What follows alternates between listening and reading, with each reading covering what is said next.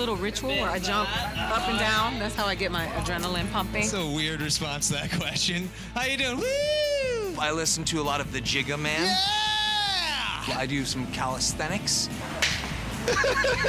I'm like this. Actually, how do I calm down so that I can actually speak and make sense? But he's a priest. What is he? Is he here taking your job? Is he here taking your job? Because usually I'm like this. I'm like this. I'm like this. And then I go on stage and I'm like, oh, hey, everybody. I've gotten way too good at pretending to be interested. That like I actually end up caring about the story I'm being told. And I hope that for whatever reason they just like it. Okay, no, I don't. No, I don't.